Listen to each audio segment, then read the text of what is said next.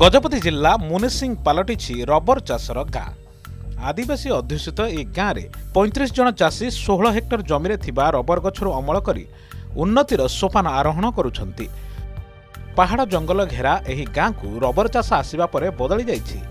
ଗାଁର ସାମାଜିକ ଓ ଅର୍ଥନୀତିର ଚିତ୍ର। ଉଣେଇଶହ ଅନେଶ୍ୱତ ମସିହାରେ ସମନ୍ୱିତ ଆଦିବାସୀ ଉନ୍ନୟନ ସଂସ୍ଥା ଓ ରବର ବୋର୍ଡ ପକ୍ଷରୁ ଗାଁର କିଛି ଚାଷୀଙ୍କୁ କେରଳ ପଠାଇ ତାଲିମ ଦିଆଯିବା ଓ ଚାରା ଯୋଗାଣ କରାଯିବା ପରେ ଆରମ୍ଭ ହୋଇଥିଲା ରବର ଚାଷ। ଦୁଇ ହଜାର ନଅରେ ଏଥିରୁ ଅମଳ ଆରମ୍ଭ ହେବା ପରେ ରବର ଚାଷ ଜମିର ପରିମାଣ ବଢ଼ିଥିଲା। ଏବେ ଗାଁରେ ପାଖାପାଖି ଶହେ ହେକ୍ଟର ଜମିରେ କରାଯାଉଛି ଚାଷ। ବର୍ତ୍ତମାନ ଏଥିରେ ଶହେ ଏକୋଇଶ ପରିବାର ଉପକୃତ ହେଉଥିବା କହିଛନ୍ତି ଗାଁର ଜଣେ ରବର ଚାଷୀ ବୁଦ୍ଧ ଭୂଇଁଆ। ରବର ଆମେ ଚାଷ କରିଥିଲୁ ଅନେଶ୍ୱତ ମସିହା ଠାରୁ ଆମେ ରବର ଚାଷ କରିକି ଆସିଛୁ। ସେ ସମୟରେ ଆମେ କରିଥିଲୁ। ତାପରେ ପରେ ଦୁଇ ହଜାର ଏକରେ ଅଠାଅଶୀ ଜଣ କରିଥିଲୁ।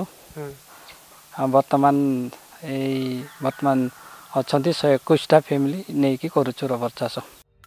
ମୁନିସିଂ ଗାଁର ଜଣେ ରବର ଚାଷୀ ଗଛରୁ କ୍ଷୀର ସଂଗ୍ରହ ପାଇଁ ବାନ୍ଧୁଛନ୍ତି ପାତ୍ର। ନିର୍ଦ୍ଦିଷ୍ଟ ମାପରେ ଗଛର ମୂଳଠାରୁ ଟିକେ ଉପରକୁ କାଟି ରସ କ୍ଷରଣର କରାଯାଇଛି ବ୍ୟବସ୍ଥା। କଟାଯାଇଥିବା ନିର୍ଗମନ ରାସ୍ତାରେ ରସ ଝରି ଝରି ବନ୍ଧାଯାଇଥିବା ପାତ୍ରରେ ସଂରକ୍ଷିତ ହେବା ପରେ ସେଗୁଡ଼ିକ ସଂଗ୍ରହ କରି ଅଣାଯାଇ ପ୍ରକ୍ରିୟାକରଣ କରାଯାଇଥାଏ। ରବର ବଗିଚାରେ ଥିବା ପ୍ରତ୍ୟେକ ପକ୍ୱ ଗଛରେ ଏଭଳି ପାତ୍ରମାନ ବାନ୍ଧି କ୍ଷୀର ବା ରସ ସଂଗ୍ରହ ବ୍ୟବସ୍ଥା କରାଯାଇଛି। ରବର ଚାଷୀ ମିତା ନାୟିକା କହନ୍ତି ଆମେ ବଡ଼ି ଭୋରରୁ ଗଛରୁ କ୍ଷୀର ଝରିବା ପାଇଁ ଗଛର ଚାରିପଟୁ ଗୋଲାକାର କରି କିଛି ଅଂଶ କାଟିଥାଉ। ନଅରୁ ଦଶଟା ଭିତରେ ଗଛଗୁଡ଼ିକରୁ ଝରି ଆସିଥିବା ପାତ୍ରରେ ଜମା ହେଉଥିବା କ୍ଷୀର ସବୁ ସଂଗ୍ରହ କରି ଆଣୁ। ଦୁଇ ଲିଟର ରବର କ୍ଷୀରରେ ଏକ ଲିଟର ପାଣି ମିଶାଇ ଚବିଶ ଘଣ୍ଟା ରଖୁ। ଶୁଖିଯିବା ପରେ ଗାଁରେ ଥିବା ପ୍ରକ୍ରିୟାକରଣ କେନ୍ଦ୍ରରେ ରବର ସିଟ୍ ପ୍ରସ୍ତୁତ କରି ବିକ୍ରି ପାଇଁ ରଖାଯାଏ। ରବର ପାହାନ୍ତିଆ ତିନିଟାରେ ଆମେ କାଟୁଛୁ। କାଟିଲା ପରେ ନଅଟା ଦଶଟା ଭିତରେ ଆମେ କ୍ଷୀରଟାକୁ ସଂଗ୍ରହ କରୁ। ଘରେ ନେଇକି ଆସିଲା ପରେ ଆମେ ମାନେ ଦୁଇ ଲିଟର କ୍ଷୀରକୁ ଲିଟର ପାଣି ଦେଉ ଚବିଶ ଘଣ୍ଟା ରଖୁଛୁ। ତାପରେ ଯାଇ ସକାଳେ ତାକୁ ପ୍ରେସିଂ କରୁ।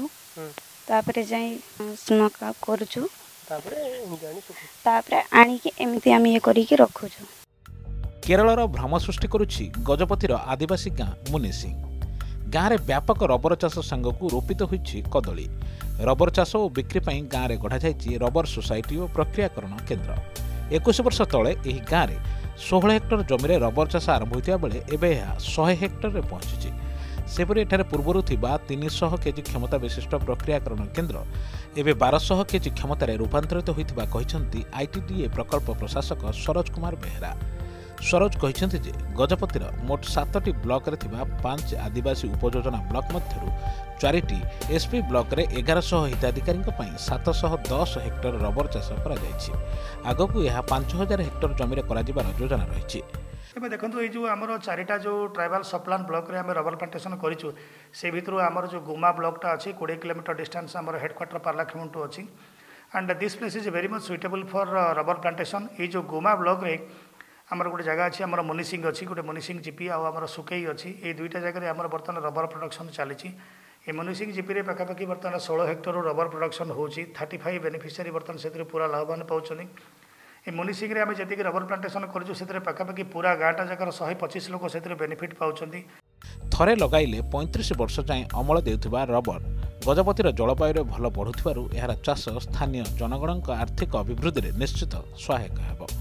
ଗଜପତିରୁ କ୍ୟାମେରା ପର୍ସନ ହେମନ୍ତ ପ୍ରଧାନଙ୍କ ସହ ଜିତେନ୍ଦ୍ର ବାରିଙ୍କ ରିପୋର୍ଟ ଅର୍ଗସ୍ ନ୍ୟୁଜ୍।